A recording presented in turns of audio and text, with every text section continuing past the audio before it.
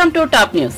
Delhi ముఖ్యమంత్రి Aam Aadmi party convener Arvind కేజ్రీవాల్ను ED అధికారులు గురువారం రాత్రి అరెస్టు చేశారు. సెర్చ్ వారెంట్తో సాయంత్రం నుంచి ఆయన నివాసంలో సోదాలు నిర్వహించిన ఈడీ ఆ తర్వాత ఆయన స్టేట్మెంట్ను రికార్డ్ చేసింది. రెండు గంటల పాటు ఆయన విచారించిన అనంతరం అరెస్టు చేసినట్లు ప్రకటించింది. అరెస్టు విషయాన్ని కేజ్రీవాల్ భార్యకు చెప్పింది. ఈడీ కార్యాలయానికి తరలించి శుక్రవారం రౌస్ అవెన్యూ కోర్టులో హాజరుపరచనున్నారు. ఆమ్ ఆద్మీ పార్టీ నాయకులు కార్యకర్తలు ఆయన నివాసం వద్ద పెద్ద ఎత్తున ఆందోళన చేపడుతున్నారు.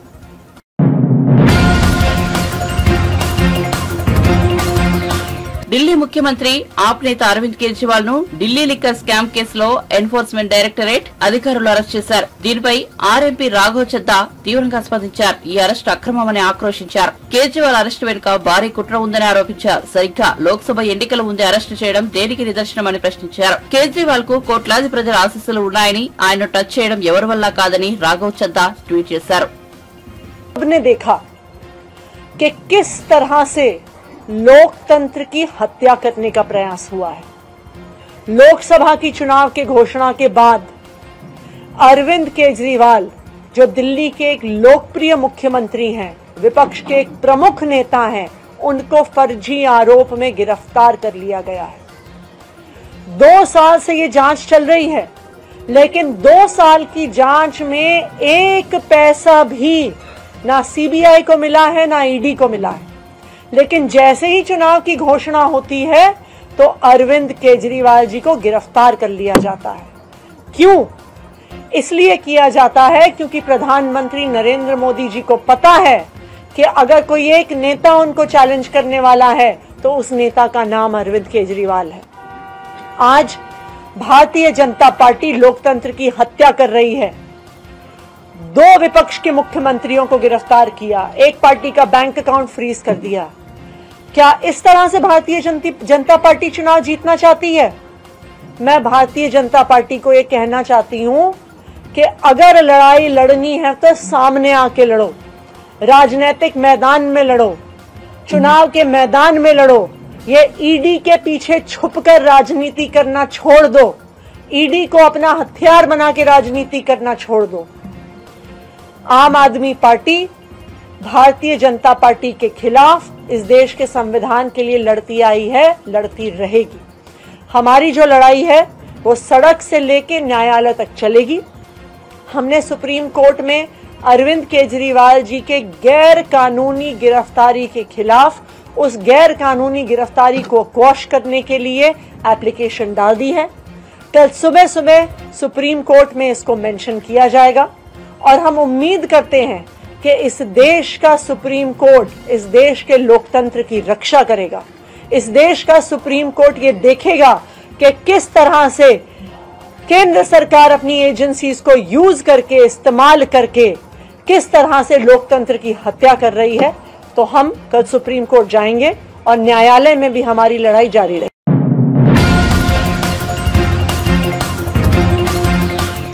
ఇటీవల బీఆర్ఎస్ నుంచి కాంగ్రెస్లో చేరిన దానం నాగేందర్ సునీత మహేందర్ రెడ్డిలకు పార్టీ అధిష్టానం టికెట్లు కేటాయించింది. లోక్సభ ఎన్నికల కోసం కాంగ్రెస్ పార్టీ యాభై ఏడు మంది అభ్యర్థులతో మూడో జాబితాను విడుదల చేసింది. కాంగ్రెస్ కీలక నేత అధీర్ రంజన్ చౌదరి పశ్చిమ బెంగాల్లోని బెర్హంపూర్ నుంచి మళ్ళీ పోటీ చేయనున్నారు. ఇందులో తెలంగాణ నుంచి ఐదుగురు అభ్యర్థులను ప్రకటించింది. పెద్దపల్లి నుంచి గడ్డం వంశీకృష్ణ సికింద్రాబాద్ నుంచి దానం నాగేందర్ చేవెళ్ళ నుంచి రంజిత్ రెడ్డి మల్కాజ్గిరి నుంచి సునీత మహేందర్ రెడ్డి నాగర్ కర్నూలు నుంచి మల్లు రవి పేర్లను ప్రకటించింది.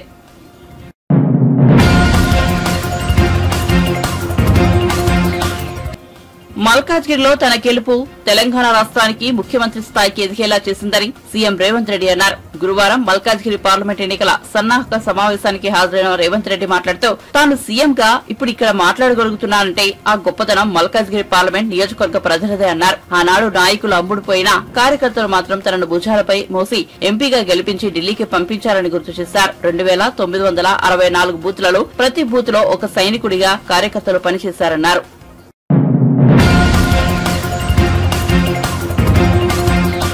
కాంగ్రెస్ పార్టీ ఆదేశిస్తే తామంతా ఎక్కడైనా పోటీ చేసేందుకు సిద్దంగా ఉన్నామని ఏపీపీసీసీ అధ్యక్షురాలు వైఎస్ షర్మిల అన్నారు. విజయవాడలో కాంగ్రెస్ పార్టీ రాష్ట్ర కార్యాలయం ఆంధ్రరత్న భవన్లో కడప జిల్లా కాంగ్రెస్ పార్టీ నాయకులతో షర్మిల సమావేశం నిర్వహించారు. అనంతరం మీడియాతో మాట్లాడారు. రాష్ట్రంలో సమస్యలపై సజ్జల సమాధానం చెప్పాలన్నారు. వైఎస్ఆర్సీపీ ప్రభుత్వంపై విమర్శలు గుప్పించారు. కాంగ్రెస్ పార్టీకి వచ్చిన అప్లికేషన్లు దాదాపు పదహైదు వందలు. ఇంకా ఎక్కడా ఏది ఫైనల్ కాలేదు. అన్ని సర్వేలు జరుగుతున్నాయి. కాంగ్రెస్ పార్టీ ఆదేశిస్తే ఎవరైనా ఎక్కడి నుంచైనా ఎప్పుడైనా ఏ స్థాయిలో ఉన్న లీడర్ అయినా దేనికైనా పోటీకైనా త్యాగానికైనా సిద్ధంగా ఉండాలి. ఇది కాంగ్రెస్ పార్టీ క్రమశిక్షణ. కాంగ్రెస్ పార్టీ నాయకులుగా కాంగ్రెస్ పార్టీకి చెందిన ప్రతి ఒక్క కుటుంబ సభ్యుడు దీనికి రెడీ. నేను అతీతం కాదు నేనైనా రఘువీరారెడ్డి గారు అంకులైనా పల్లంరాజు గారైనా ఇలా కాంగ్రెస్ పార్టీకి చెందిన పెద్దలు చిన్నలు చిన్నవాళ్ళు ప్రతి ఒక్కరూ కూడా పార్టీ ఆదేశిస్తే మేము నో అనే క్వశ్చన్ ఉండదు. సజ్జల గారు సమాధానం చెప్పాల్సింది రాష్ట్రంలోని సమస్యల గురించి. సజ్జల గారు సమాధానం చెప్పాల్సింది రేవంత్ రెడ్డి గారు అక్కడ ఎందుకు వచ్చారు? ఏం మాట్లాడారు అన్న విషయం గురించి. మేము ఏ కళలు కంటున్నామో పక్కన పెట్టండి. మీరు ఏ కళలు కంటున్నారో ప్రజలందరూ గమనిస్తున్నారు. మిమ్మల్ని ఇంటికి పంపడానికి ప్రజలందరూ సిద్ధంగా ఉన్నారు సజ్జల గారు. మళ్ళీ చెప్తున్నాం విశాఖపట్నం ప్రైవేటైజేషన్కు కాంగ్రెస్ పార్టీ ఒప్పుకోదు. ఈరోజు సజ్జల గారిని అడుగుతున్నాము అవినాష్ రెడ్డి గారు జగన్మోహన్ రెడ్డి గారి సొంత కజిన్. మరి అట్లాంటప్పుడు వైసీపీలో ఎంపీగా ఉండి కూడా అవినాష్ రెడ్డి గారు ఎందుకని కడప స్టీల్ ఫ్యాక్టరీ కోసం ఏ పోరాటము చేయలేదు? ఇంతవరకు కడప స్టీల్ ఫ్యాక్టరీ ఎందుకు రాలేదో ముందు సజ్జల గారు అవినాష్ రెడ్డి గారు జగన్మోహన్ రెడ్డి గారు సమాధానం చెప్పాలి.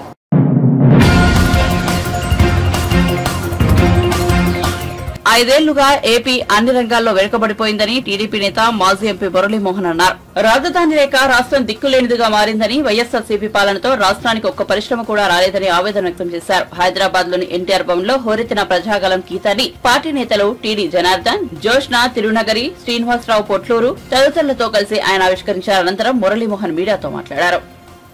గత ఐదు సంవత్సరాలుగా రాష్ట్రం ఎలా వెనకబడిపోయిందో రాజధాని అనే లేని పరిస్థితుల్లో దిక్కులేని రాష్ట్రంలాగా ఎలా అయిపోయింది మీకు అందరికీ తెలుసు ఒక పరిశ్రమ రాలేదు. పరిశ్రమలో ఉన్న పరిశ్రమలు కూడా తరలి బయటకు వెళ్ళేటట్టుగా జరిగిపోయింది ఎన్నో దోపిడీలు వీళ్ళు వాళ్ళు అనుకున్న అందరూ రాజు దగ్గర నుంచి భట్టుడు దాకా అందరూ కూడా ఎలా దొంగతనాలు చేస్తారో అలా దొంగతనాలు కూడా జరిగిపోయింది మనం ఓట్లు వేసి మన నాయకుల్ని ఎన్నుకునేది ఎందుకంటే మన రాష్ట్రాన్ని ఎలా అభివృద్ధిలోకి తీసుకురావాలి పరిశ్రమలన్నీ కూడా ఎలా తీసుకురావాలి?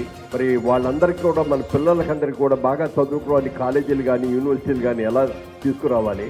వాళ్ళందరికీ కూడా ఉద్యోగాల కోసం ఇతర రాష్ట్రాలకు ఇతర దేశాలకు వెళ్ళకుండా మన రాష్ట్రంలోనే మనకి ఉద్యోగాలు ఎలా సంపాదించాలనే దాని గురించి ఆలోచించి చేయవలసిన ప్రభుత్వం గత ఐదు సంవత్సరాలుగా అన్ని రంగాల్లోనూ అన్ని రంగాల్లో కూడా వెనకబడిపోయింది. ఇలాంటి పరిస్థితుల్లో మనలో ఒక చైతన్యం వచ్చి మళ్ళీ అభివృద్ధిని గురించి బాగా అవగాహన ఉన్నటువంటి ఒక మంచి ముఖ్యమంత్రిని చంద్రబాబు నాయుడు గారిని ఎన్నుకోవలసిన సమయం ఆసన్నమైంది. వాళ్ళు ఉచితం ఉచితం అని చెప్పి అందరికీ ఉచితాలు ఇచ్చి సౌరపోతం చేసేదానికంటే కూడా వాళ్ళందరూ కూడా ఎలా కష్టపడి చదువుకోవాలి ఎలా కష్టపడి పైకి రావాలి అని చెప్పి అనుకొని మన డబ్బులు మనం మన కాళ్ళ మీద మనం నిలబడాలి తప్ప దేహి అంటూ చేతులు తప్పి ఒక బిచ్చగాళ్ళలాగా ఉంటాం నేను కరెక్ట్ కాదు అని చెప్పి నా ఉద్దేశం.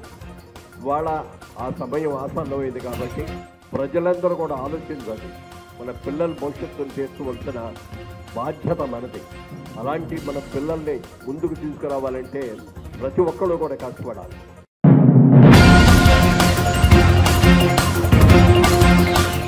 టీడీపీ జనసేన బీజేపీ కూటమి మరోసారి ప్రజల ముందుకు వస్తోందని కాబట్టి ప్రజలంతా అప్రమత్తంగా ఉండాలని కోరుతున్నామని YCP regional coordinator YV Subbareddy అన్నారు. సిద్ధం సభలను జగన్ పెట్టిన తర్వాత బహిరంగ సభ పెట్టుకునే ధైర్యాన్ని టీడీపీ నేతలు జనసేనలు చేయలేకపోయాయని చెప్పారు. ఢిల్లీ నుంచి ప్రధాని మోదీ వస్తే గాని చేయలేని పరిస్థితిలో టీడీపీ జనసేన ఉన్నాయని ఎద్దేవా చేశారు. పవన్ కళ్యాణ్ ఎన్నిసార్లు వారాహి యాత్రలు చేస్తారని ప్రశ్నించారు. టీడీపీ హయాంలో ఎదురైన మోసాలు ప్రజలకు గుర్తొస్తున్నాయని చెప్పారు. జగన్ పాలనలో జరిగిన మంచి కూటమి చేసిన మోసాన్ని ప్రజలకు వివరిస్తామని చెప్పారు. మోడీ గారిని తీసుకొచ్చి మీటింగ్ పెట్టుకోవడం జరిగింది. అంటే ప్రచారంలో ఏ విధంగా మేము ముందున్నామో వాళ్ళ చూసే వాళ్ళ ప్రచార కార్యక్రమాలు కూడా స్టార్ట్ చేసే పరిస్థితులు లేకుండా ఉన్నారు. అందుకే ఢిల్లీ నుంచి మోడీ గారిని తెచ్చుకొని ప్రచార కార్యక్రమం ఇక్కడ మొదలు పెట్టుకోవడానికి చర్యలు తీసుకుంటున్నట్టు కనిపిస్తుంది. ఓకే.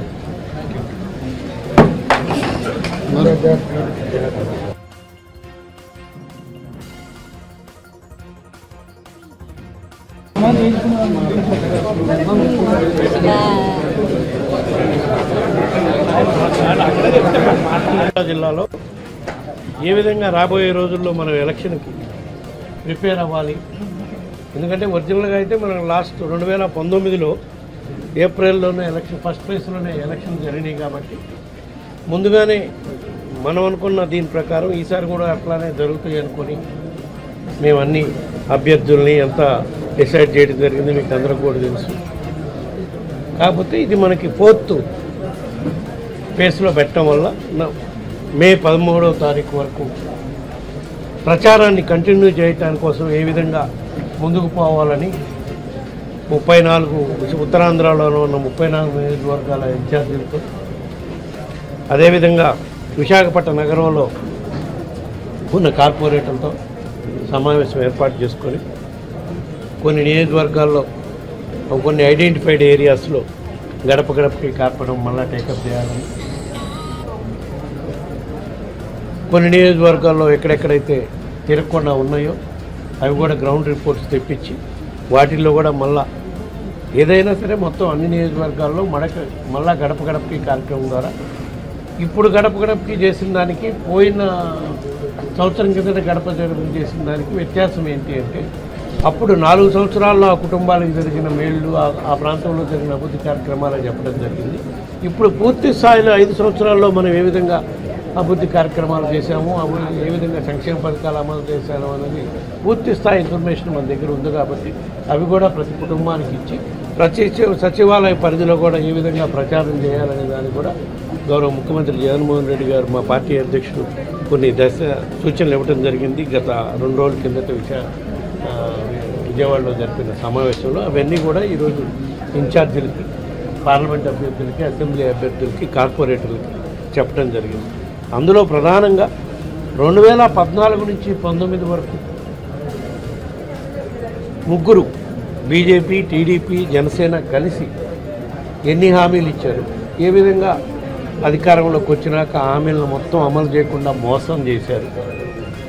మళ్ళా పది సంవత్సరాల తర్వాత మళ్ళా వాళ్ళు ముగ్గురు కలిసి వస్తున్నారు కాబట్టి ఇది ప్రజలకందరికీ గుర్తు చేసి మళ్ళా ఇంకొకసారి మోసపోకుండా జాగ్రత్తగా ఉండాలనేది ప్రధాన అంశం ప్రజల్లోకి తీసుకెళ్ళాలని చెప్పడం జరిగింది. ఎందుకంటే రెండు వేల పద్నాలుగులో వాళ్ళు ఇచ్చిన హామీలు నమ్మి రెండు వేల పద్నాలుగు నుంచి పంతొమ్మిది వరకు హామీలు అమలు చేయకుండా ప్రజలు ఏ- ఏ విధంగా ఇబ్బందులు పాలయ్యారు మా గౌరవ ముఖ్యమంత్రి అప్పుడు ప్రతిపక్ష నాయకుడు జగన్మోహన్ రెడ్డి గారు చూశారు కాబట్టి తన సుదీర్ఘ పాదయాత్రలో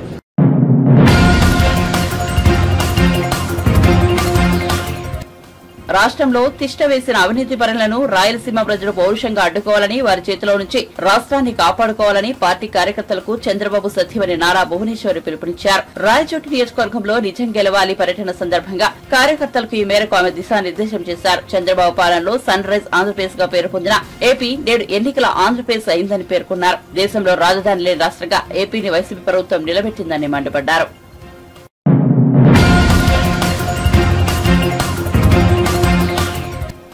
ఐదేళ్ళు అన్ని రంగాల్లో సీఎం జగన్ రెడ్డి ఎనిమిది లక్షల కోట్లు దోచుకున్నారని మాజీ మంత్రి నక్క ఆనందబాబు అన్నారు. గురువారం తెలుగుదేశం పార్టీ కార్యాలయంలో ఆయన మీడియాతో మాట్లాడుతూ లక్షల కోట్లు దోపిడీ చేసి కిరాయి మనసులతో టీడీపీ అధినేత చంద్రబాబుపై జగన్మోహన్ రెడ్డి అసత్య ప్రచారం చేస్తున్నారని మండిపడ్డారు ప్రజాధనంతో జీతం తీసుకుంటూ చంద్రబాబుపై అసత్య ఆరోపణల పుస్తకం విడుదల చేయడం సిగ్గుచేటన్నారు. ప్రభుత్వ సలహాదారు సజ్జల రామకృష్ణారెడ్డి అధికార భాష సంఘం కమిషన్ చైర్మన్ పి. విజయబాబులను ప్రభుత్వ పదవుల నుంచి తక్షణమే తొలగించాలని సీఈఓ మీనాను కోరారు. చెప్పిన అబద్ధమే వంద సార్లు చెప్పడం ద్వారా దాన్ని నిజం చేయొచ్చనే ఒక పిచ్చి భ్రమలో ఉంటాడు జగన్మోహన్ రెడ్డి. మొట్టమొదటి నుంచి అలవాటు ఇది. అతను అదే విధంగా చెప్తాడు అతని తాబేదారులతో అదే విధంగా చెప్పిస్తూ ఉంటాడు. ఆ గ్లోబల్స్ ప్రచారం అనేది ఇతనికి వెన్నతో పెట్టిన విద్య. దీనికి ఒక పెద్ద టీం తయారు చేసుకుంటాడు. ఒక కిరాయి ముఠ ఇప్పుడు విజయబాబు అని చెప్పి అధికార భాషా సంఘం చైర్మన్గా ఉన్నాడు. ఆ విజయబాబు చంద్రబాబు నాయుడు గారు పద్నాలుగు నుంచి పంతొమ్మిది దాకా అధికారంలో ఉన్నప్పుడు ఏదో అవినీతికి పాల్పడ్డాడని చెప్పి ఇవాళ ఒక పుస్తకం వేస్తాడు. ఆరు లక్షల కోట్లు ఆయన అవినీతికి పాల్పడ్డాడంట. ఈయన ఒక పుస్తకం రాస్తే అధికార భాషా సంఘం చైర్మన్. దాన్ని ప్రభుత్వ సలహాదారు సజ్జల రామకృష్ణారెడ్డి రిలీజ్ చేస్తాడు ఆ బుక్ని. ఎన్నికల కమిషన్ మాత్రం చోద్యం చూస్తా ఉన్నట్టు కనిపిస్తా ఉంది. ఎన్నికల కోడ్ అమల్లో ఉంది. ప్రజాధనం ప్రభుత్వ ధనం వేతనాలుగా తీసుకుంటున్నటువంటి ఈ పనికి మాలిన వెధవలు ఇద్దరు. కిరాయి మనుషులు. ఇవాళ ఏ విధంగా చంద్రబాబు నాయుడు గారి మీద అసత్య ఆరోపణలతో ఈ పుస్తకాలు రాసి రిలీజ్ చేస్తారు? ఎన్నికల కమిషన్ తక్షణమే క్రిమినల్ కేసులు పెట్టి చర్యలు తీసుకోవాలి వీళ్ళ మీద.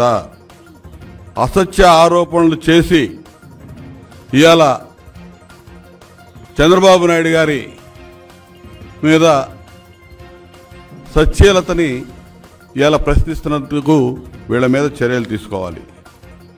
వీళ్ళిద్దరిని కూడా ప్రభుత్వ పదవుల నుంచి తక్షణమే తొలగించాలి ఎన్నికల కమిషన్. ఖచ్చితంగా చేయాలి. ఒక విశ్వసనీయత అనేది ఎన్నికల కమిషన్ మీద ఏర్పడాలంటే ఇటువంటి వాళ్ళ మీద తక్షణ చర్యలు ఉండాలని చెప్పి నేను డిమాండ్ చేస్తా ఉన్నా. చంద్రబాబు నాయుడు గారి మీద సిఐడి ఆధారాలు లేకుండా అభియోగాలు మోపి జైలుకి పంపింది అనేది అందరికీ తెలుసు. కోర్టు కూడా విశ్వసించింది. అందుకే బెయిల్ మంజూరు చేశారు. ఇలా పద్నాలుగేళ్ళు ముఖ్యమంత్రిగా పనిచేసినటువంటి చంద్రబాబు నాయుడు గారు ఇవాళ మీరు పనికిమాలిన కేసులు నిరాధారమైనటువంటి ఆరోపణలతో కేసులు పెట్టి వేధింపులకు గురి చేసి అబాసు పాలయ్యారు. ఇవాళ ఎప్పుడు కూడా గతంలో కూడా మీరు అధికారంలోకి వచ్చినాక పోలవరం ప్రాజెక్టులో ఏదో అవినీతి జరిగిందని చెప్పి ఢిల్లీ హైకోర్టులో కేసులు వేయించారు. అక్కడ కేంద్ర ప్రభుత్వం అఫిడవిట్ ఫైల్ చేసింది పోలవరంలో ఎటువంటి అవినీతి జరగలేదని. ఆ high court Delhi high court కూడా కేసు కొట్టేసింది. ఈ విధంగా ఉంటే వీళ్ళు చేసేటటువంటి ఆరోపణలన్నీ కూడా. ఇలా సూట్ కేస్ కంపెనీలు అనేది జగన్మోహన్ రెడ్డికి వెన్నతో పెట్టిన విద్య. అందరికీ తెలుసు. ఈయనకు అధికారికంగా పదహారు కంపెనీలు ఉన్నాయి. ఒక యాభై నాలుగు యాభై ఐదు అనధికారికంగా కంపెనీలు సూట్ కేస్ కంపెనీలు ఉన్నాయి. ఈ సూట్ కేస్ కంపెనీలు మనీ లాండరింగ్లు హవాలాలు క్విట్ప్రోకోలు అసలు ఈ పదాలే ఆంధ్రప్రదేశ్ ప్రజలకు ఉమ్మడి ఆంధ్రప్రదేశ్ ప్రజలకు కూడా ఎవరికి తెలియదు జగన్మోహన్ రెడ్డి ద్వారానే వచ్చినాయి ఇవన్నీ. ఇవాళ ఈయన పేదలకి పెత్తందారులకి అంటా ఉంటాడు అసలు సిగ్గుందా? ఈ ముఖ్యమంత్రికి కానీ ముఖ్యమంత్రిని సమర్థించేటటువంటి నాయకులకు కానీ ఎవడ పేదవాడు? ఐదు ప్యాలెస్ల్లో కులికేటటువంటి రాజప్రసాదాలు లాంటి ప్యాలెస్లు కట్టుకొని కులికేవాడు పేదవాడా జగన్మోహన్ రెడ్డి? అందరికీ తెలుసు కదా బెంగళూరులో ఉన్నటువంటి యలహంక ప్యాలెస్ తెలుసు లోటస్ పాండ్ ప్యాలెస్ తెలుసు తాడేపల్లి ప్యాలెస్ తెలుసు ఇడుపులపాయ ప్యాలెస్ తెలుసు పులివెందుల్లో తెలుసు. ఇవన్నీ అందరికీ తెలిసినాయి కదా. ఈయనకున్న ప్యాలెస్లు ఒక్కొక్కటి వందల వేల కోట్ల రూపాయలు విలువ చేసేటువంటి ప్యాలెస్లు ఉన్నాయి ఒక్కొక్క ప్యాలెస్లో యాభై అరవై బెడ్రూమ్లు ఉంటాయి. ఉండే ఇద్దరు మనుషులకి అసలు ఏ విధంగా కట్టాడు ఏం చేస్తున్నాడు ఆ ప్యాలెస్ల్లో వేలాది ఎకరాలు ఏ విధంగా వచ్చినాయి? తండ్రి అధికారాన్ని అడ్డం పెట్టుకొని అడ్డగోలుగా దోచుకున్నాడు. రెండు వేల నాలుగులో రాజశేఖర రెడ్డి అధికారం రాకముందు రాజశేఖర రెడ్డి ఫ్యామిలీకి ఉన్నటువంటి ఆస్తులు ఏంటంటే హైదరాబాద్లో ఉన్నటువంటి ఇల్లు కూడా అమ్ముకునేటటువంటి పరిస్థితులు అందరికీ తెలుస్తుంది. ఈరోజు ఇవాళ ఈయన దోపిడీ విలువ ఎనిమిది లక్షల కోట్లు. ఇవాళ ఆధారాలు ఉన్నాయి. నలభై మూడు వేల కోట్లకి ఆధారాలు ఉన్నాయని తండ్రి అధికారంలో ఉన్నప్పుడే అడ్డగోలుగా సంపాదించాడని చెప్పి సిబిఐ ఛార్జ్షీట్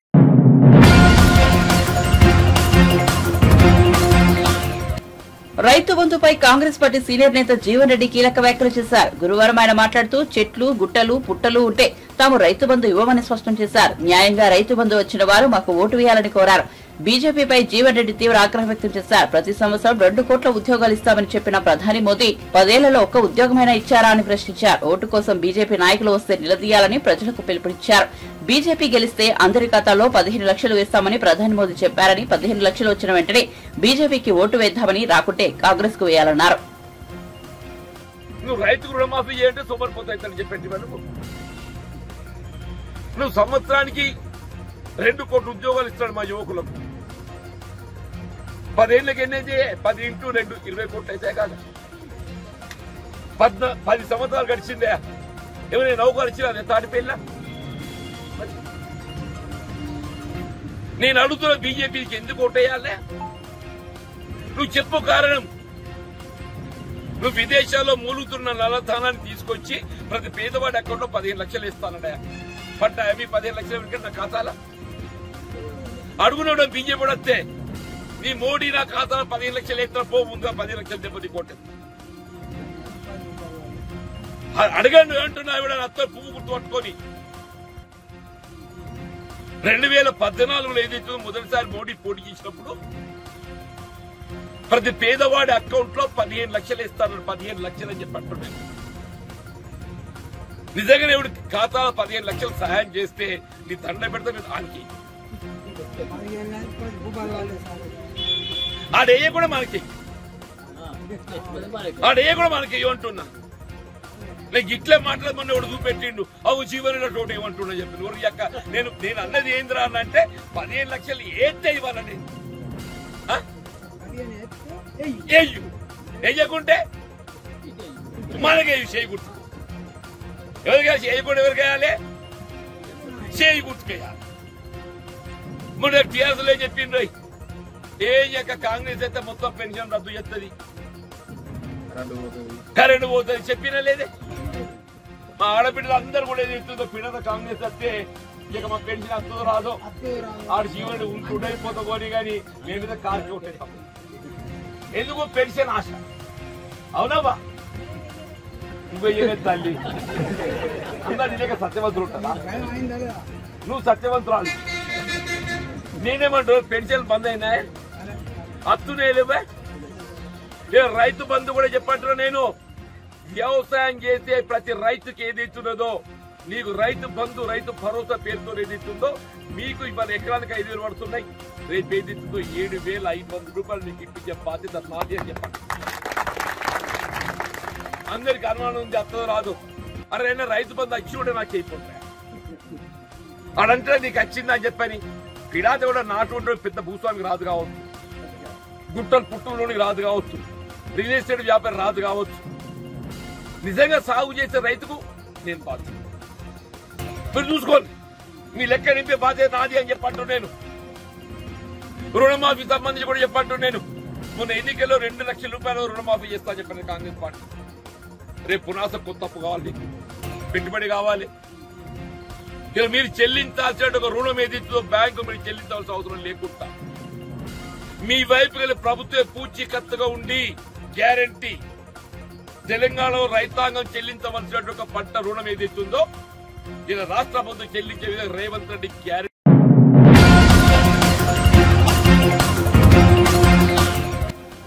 ఏపీలో విద్యా కానుక కాంట్రాక్టర్లు పాత కాంట్రాక్టర్లకు కట్టబెట్టారంటూ మీడియాలో వచ్చిన వార్తలపై టీడీపీ సీనియర్ నేత మాజీ మంత్రి దేవినేని ఉమా స్పందించారు.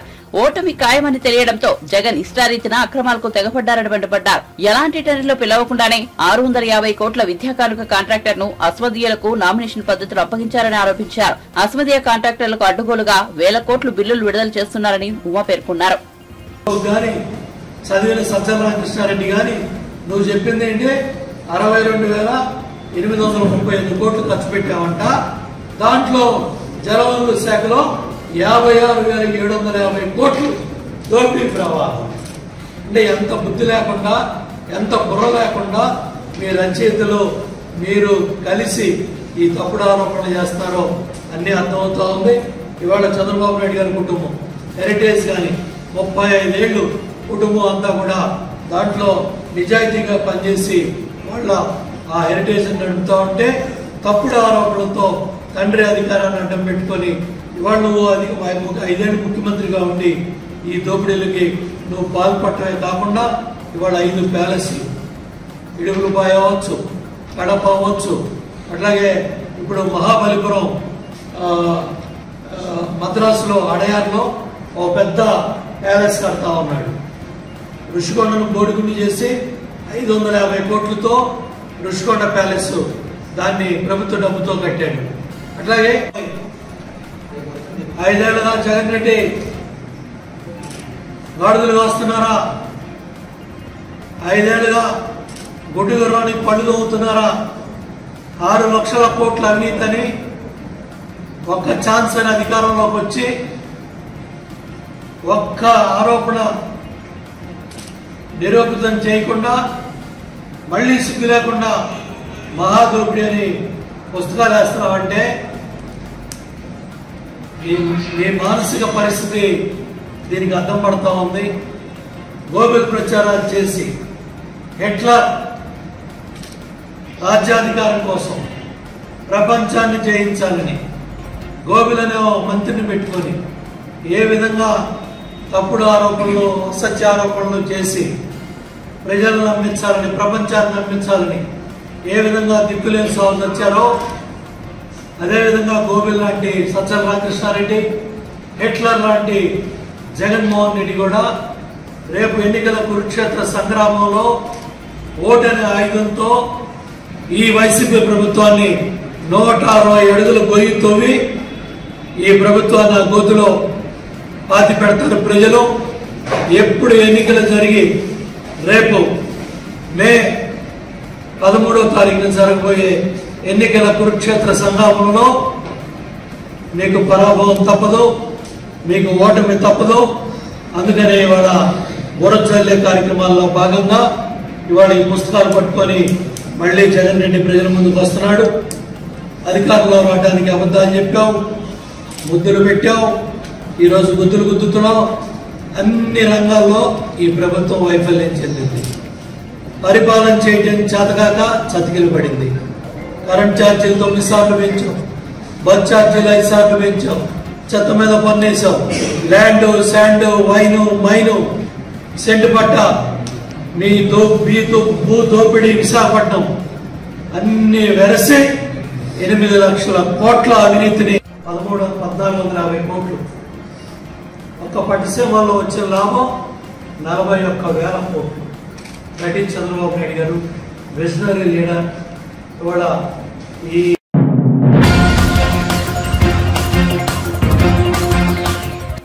మా అభ్యర్థిపై దాడి చేసి మాపైనే కేసులు పెడుతున్నారని టీడీపీ నేత పెమ్మసాని చంద్రశేఖర్ అన్నారు. దాడిలో పునరావృతం కాకుండా అధికారులు చర్యలు చేపట్టాలి.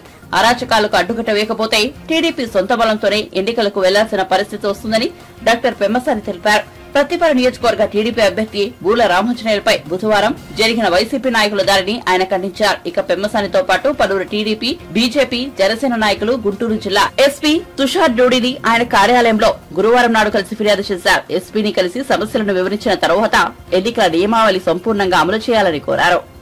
మేము చెప్పిన దానికి అన్నిటికీ కూడా ఇది ఒక ఎవిడెన్స్ మీరందరూ ఒకసారి చూడండి వీడియో కెమెరాలో. నిన్న మరి ఎమ్మెల్యే కాదు ఏమి కాదు. ఎంతమంది పోలీసులు ఒక వ్యక్తి బర్త్డేకి కేక్ కట్ చేస్తున్నారు? ఎందుకు చెప్తున్నారంటే మా అభ్యర్థి మీద దాడి జరిగి పోలీస్ స్టేషన్కి వెళ్తే ఆయన మీదే కేసులు పెట్టి పోలీస్ స్టేషన్లో హడావుడి చేస్తున్నారంటే దానికి కారణం ఇది ఈ సంస్కృతి.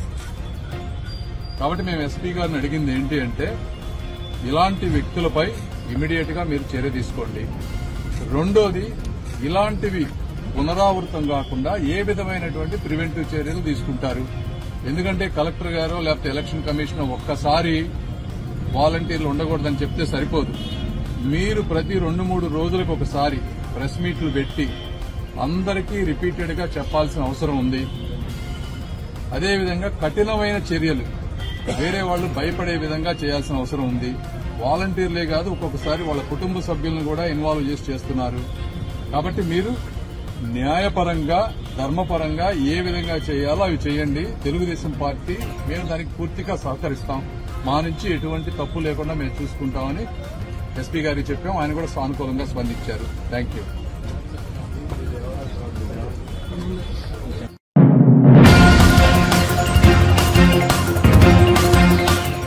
సెలబ్రిటీస్ చెప్తేనే సబ్స్క్రైబ్ చేస్తారా? మేము చెప్తే చేయరా? మీరు మా ఛానల్ సబ్స్క్రైబ్ చేయాలనుకుంటే పైన కనిపిస్తున్న గంట సింబల్ని క్లిక్ చేయండి. మా వీడియో కనుక మీకు నచ్చినట్లయితే వీలైతే లైక్ చేయండి కుదిరితే కామెంట్ చేయండి. వీలైతే షేర్ చేయండి. తప్పకుండా మా ఛానల్ని సబ్స్క్రైబ్ చేయండి. సబ్స్క్రైబ్ చేసుకున్న తర్వాత పక్కనే ఉన్న బెల్ బటన్ నొక్కండి. మేము పెట్టే లేటెస్ట్ న్యూస్ అప్డేట్స్ అన్ని మీకు నోటిఫికేషన్స్లో వచ్చేస్తాయి.